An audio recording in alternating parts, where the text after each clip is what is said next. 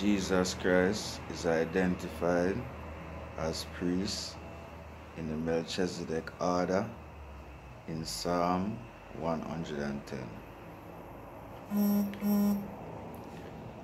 Now, the Melchizedek order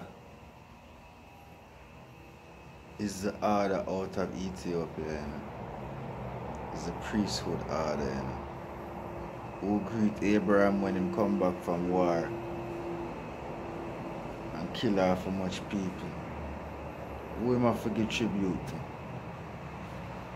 The priests from Ethiopia. Melchizedek order, which is what Ethiopia is still keeping until this day, which is the reason why them are trying to go to war with them now. It's a spiritual war. It's the same reason why them why them invade Haile Selassie and Menelik.